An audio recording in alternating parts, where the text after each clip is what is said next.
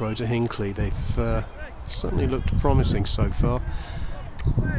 And uh, Allen has now made two saves for the home side as the Knitters look to get back into this promotion race. Out it goes to the right hand side again. Good skills, but that's a, a really good tackle. And the ball's played long.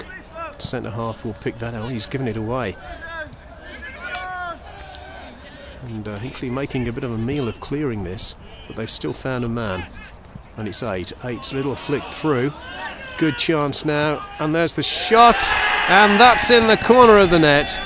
And it's the number 10 who scored it. And it's 1 0 to the visitors. And it has been coming.